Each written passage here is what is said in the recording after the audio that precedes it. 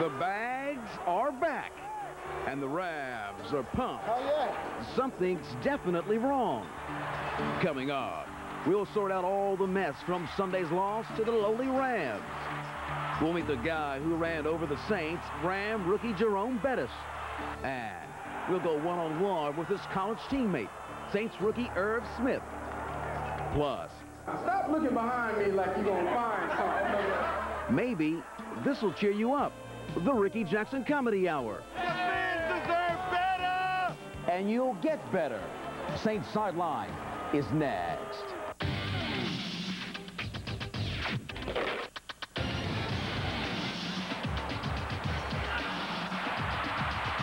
This is Saints Sideline.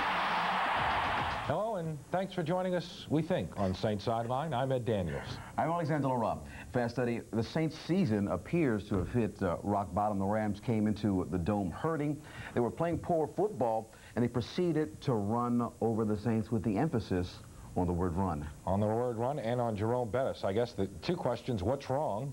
And uh, second question, can this team make the playoffs? And do you care? They've got three more games to turn it around. The Giants, Eagles, and Bengals are all licking their chops after watching the Saints Sunday.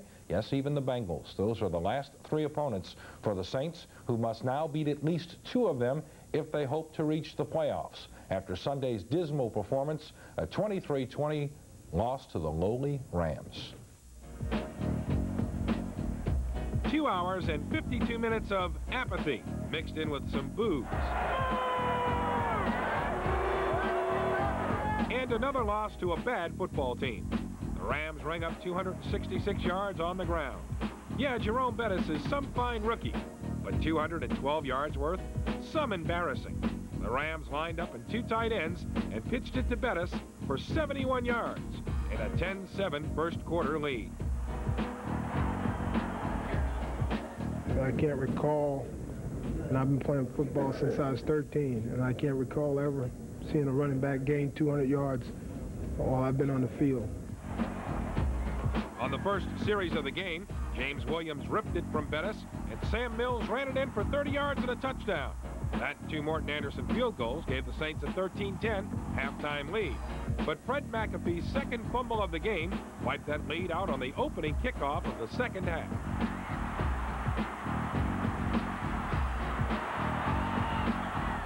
The Rams went on a 13-play, 80-yard third-quarter drive for a 23-13 lead. The rest of the game was left to wonder if the Saints could come back. And when the answer was no, folks just picked up and went home, quietly. You always look to read a lot of signs around. There wasn't no signs around or anything like that, so it was kind of it was kind of dead day, you know what I mean? And a lot of people just frustrated because we're losing, and I can understand that. A team that lost 38-10 to Phoenix a week ago ran all over the Saints. T.J. Rubley was a winner in his first Superdome start. Now that's downright embarrassing. And so will the thousands of no-shows who just said no and were glad they did. LA sports writers haven't seen many performances like this one recently. Neither has Coach Chuck Knox. Here's what they're saying. T.J. Simers of the Los Angeles Times writes, Chuck Knox, who has kept his emotions to himself through the best of times and now the worst of them, was moved to tears Sunday. The coach's voice shook, and in his excitement to praise his players after the Rams had shocked the Saints, the words came with unfettered joy. Knox said, this is very special, very special. In this place, as beat up as we were, it's special. It really, really is. The Rams won by following Knox's formula for success. Run the ball, make something happen on special teams, force turnovers on defense. The NFL is taking a page from Major League Baseball, and for the first time, fans are casting votes for the Pro Bowl. With three games to go, the Saints' best hopes are a trio of linebackers. If anyone on the Saints roster deserved the trip to Hawaii, it's linebacker Vaughn Johnson. Number 53 is on a pace to achieve career highs in tackles, sacks, and forced fumbles, despite not playing Sunday. Through 13 games last year, Johnson had 66 tackles, one sack, and three forced fumbles, and he made it to the Pro Bowl. By comparison, his numbers this year are much better. 95 tackles, 4 sacks, and 4 forced fumbles. Rickey Jackson's right on his Pro Bowl pace of 1992. Last year at this point, he had 52 tackles, 11 and a half sacks, 4 forced fumbles, and 2 recoveries. This year, he's got 13 more tackles, 9 and a half sacks, 3 forced fumbles, and 2 recoveries. And Renaldo Turnbull's well ahead of Pat Swilling's Pro Bowl pace. Swilling had 41 tackles, 10 and a half sacks, 3 forced fumbles, and 1 recovery. Playing the same spot this year, Turnbull's made 60 tackles, a dozen sacks, 5 forced fumbles, 2 recoveries, and an interception. Up next, number 82 at home. We'll go one-on-one -on -one with rookie tight end Irv Smith when Saints Sideline continues.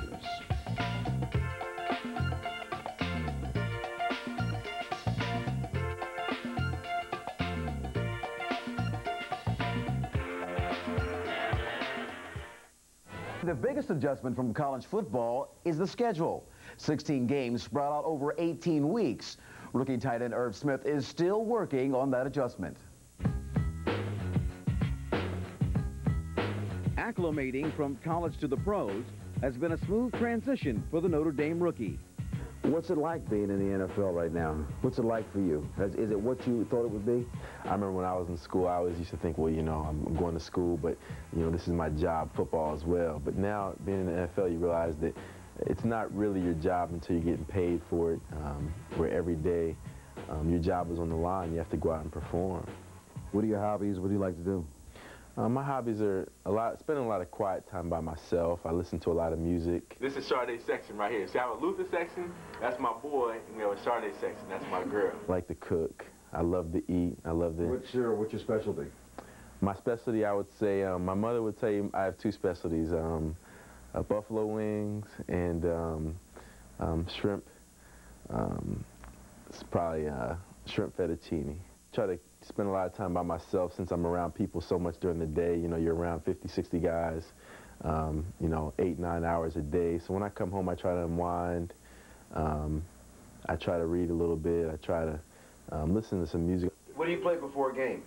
Um, you know, I don't listen to. I used to listen to music. I don't listen to any music before the game any longer. I just, I try to just um, concentrate on, you know, football. I try to look over my playbook. A lot of guys will put their headphones like that, and I, I just stopped doing. it. I stopped bringing my headphones with me and everything, just because I just try to keep myself more focused on, you know, what my plays are. I try to stay away from the TV as much as possible because your your whole day and night can get uh, monopolized by looking at the two. But I do enjoy, you know, watching movies um, looking at videos, that kind of thing. But I try to spend a lot of quiet time by myself and um, spend time with some friends.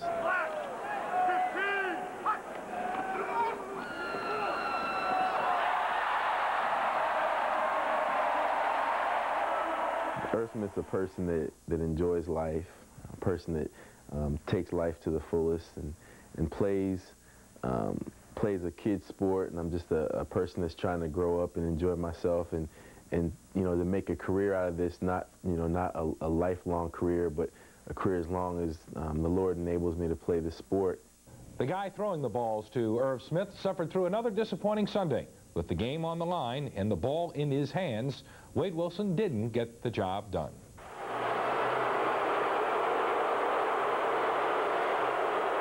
Saints quarterback Wade Wilson heard the boos, something he heard before in Minnesota. Wilson was 25 of 43 for 267 yards. He thinks he's still the Saints' starting quarterback.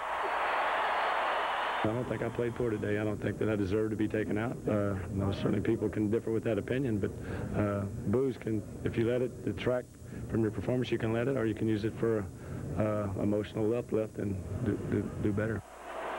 When asked how the hot seat was different in New Orleans than it was in Minnesota, Wilson replied, Usually in Minnesota, you were taken out, you know, back and forth. So the coach was, you know, quick to give you the quick hook or whatever. But so it was a little more difficult, but it, it made you very thick-skinned.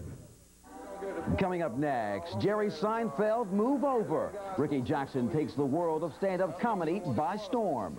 And this guy is a superstar waiting to happen. We'll meet the Rams' Jerome Bettis from Saints Sideline continues.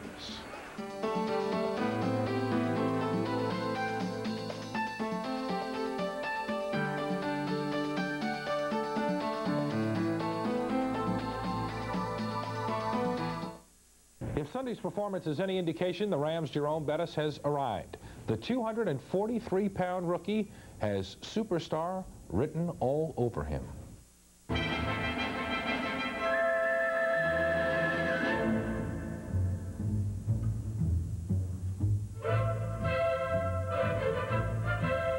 Was it great running or poor tackling? What it was for sure was a growing big sign that Jerome Bettis is ready to become one of the premier backs in football. I really thought I was going to be playing fullback in the NFL. So, I mean, to come out and, and to change positions to a tailback and then to go for a 1,000 yards, I think uh, it's just a dream come true.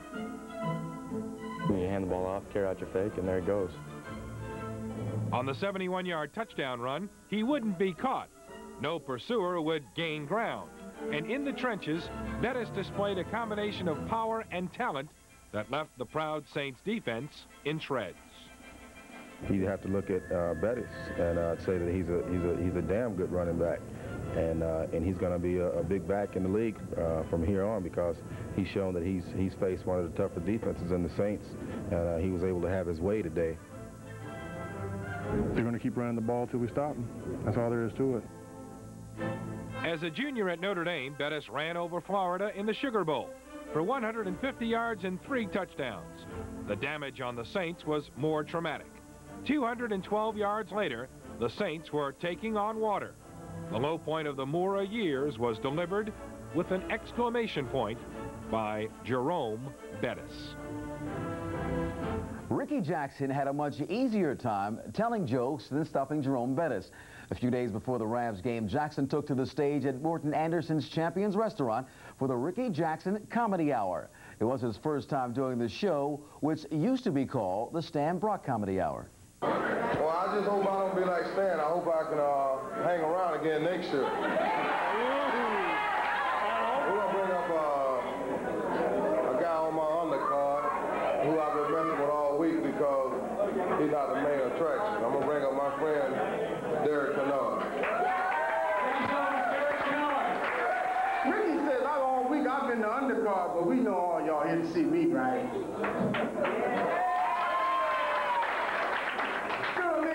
I got I got my posse too, you know. Well, I'll say one thing about me and you, Derek. We ain't got to get no green card like our friend over there. I got to respond to this. when Rickey found out he was going to do the comedy hour, he went into intensive training, so he had he wanted to speak eloquently. He wanted to really, you know, get the point across. across. So who did he call up? Buddy D. Which one is harder, playing football or being a comedian? I think playing football is a little harder. Being a comedian, it's kind of easier because you got fat people like Derek Kennard you can talk about. You got, little weasel like Morten Andersen you can talk about. So then you got Tyrone just coming in. You can talk about him. So it's a lot more easy talking about people than uh, playing football. The comedy, you don't have to take no blows or give no blows, but you know, you you, you just gotta kind of like just get up there and be yourself. but but in, in, football, you gotta you know you gotta give some, you gotta take some, but you would rather be on the giving end, if you know what I mean. Buford Jordan is up next to tell us if there's still hope for the playoffs. We'll sort through another train wreck and look ahead to the Giants when Saints sideline continues.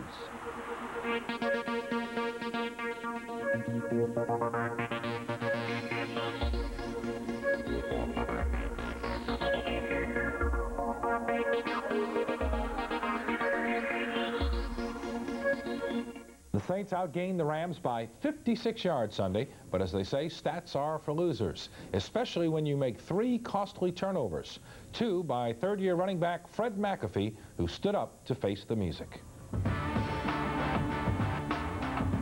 Fred McAfee suffered his worst day as a pro. His second fumble on the opening kickoff of the second half was picked up and run in for a touchdown by Deral Boykin. I've had some bad days, but nothing of this magnitude. You know, uh, just just one of those things. You know, just have to live with it. You know, it's, it's, some, some, it's gonna be hard, for, you know, for some for me to you know just you know put like, oh, it didn't happen, but it happened. There's nothing I can do about it. McAfee also fumbled in the first quarter at the Ram 31. Los Angeles turned that miscue into a 22-yard field goal by Tony Zendejas. Sunday night after the Rams game, the phone calls to the radio shows in New Orleans were calling for Jim Mora's job. How bad is it? And is there still hope for the playoffs? To answer these and other relevant questions, we go on the bench with Buford Jordan. Uh, Buford, the Rams come to town playing about as poorly as any team in the NFL. Uh, they play the Saints. The Saints they make them look like uh, playoff contenders. Do the, do the Saints really have a shot at the playoffs?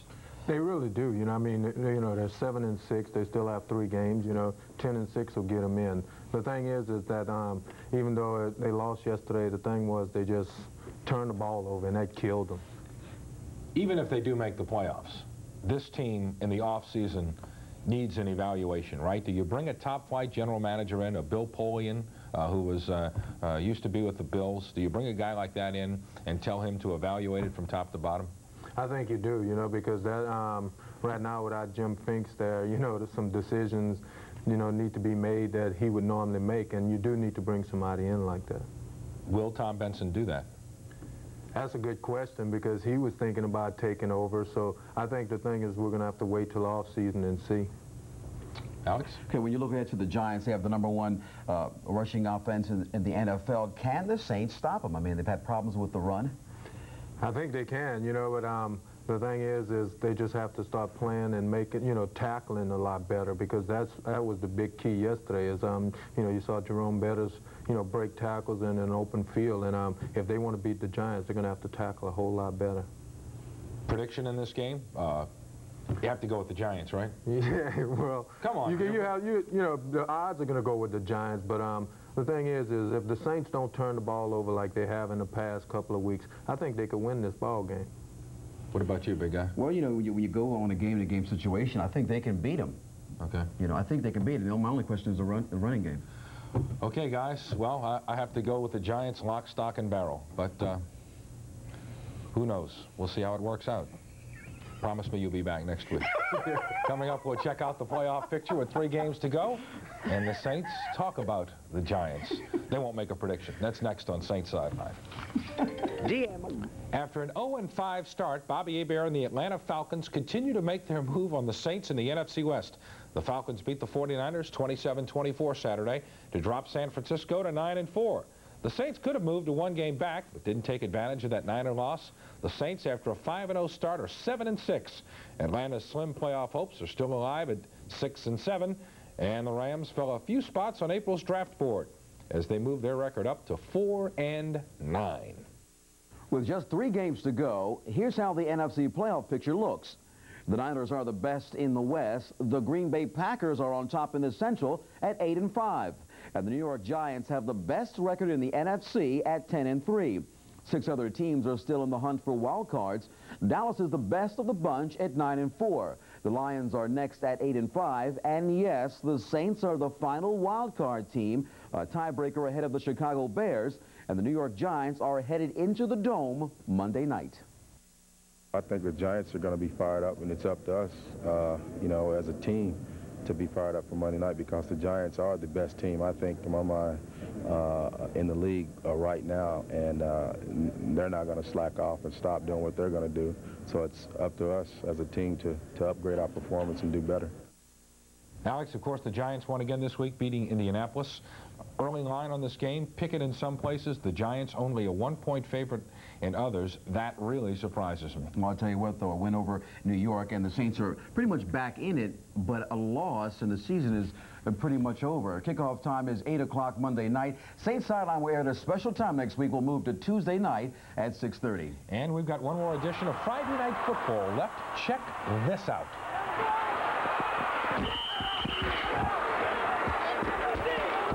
Photographer Joseph Leha is still alive. The camera, though, may be DOA. We'll recap all the action from this weekend's state championships and our season finale of Friday Night Football, Friday night at 10.30 right here on WGNO 26. Always good to see a man who's ready to die for the cause. yeah, I knew that hurt. He's still alive, though, barely. I'm Ed Daniels. I'm Alexander Laurent. We'll see you next week, next Tuesday night on Saint Sideline. Good night. So I don't know if I'll be able to sleep tonight. I, I, if I get to sleep tonight, I know it'll be 5 or 6 o'clock in the morning. it seems like a lot of people just nonchalant, and I mean, it hurt me real hard, but ain't nothing I can do about it, you know, because every individual is individual. So the only thing I can do is uh, mope about it and try to get over it the best way I can. We're trying to win each week, and that's what we do. We get we go out there and, and like we like always, we try to prepare our team to, to, to play the best they can on Sunday and to win that football game, and that's what we'll continue to try to do. We got our backs against the wall, and we need to fight out of this corner and, and, and get back in it. Uh, we're, we're still in the race, but uh, there is a sense of urgency, without a doubt.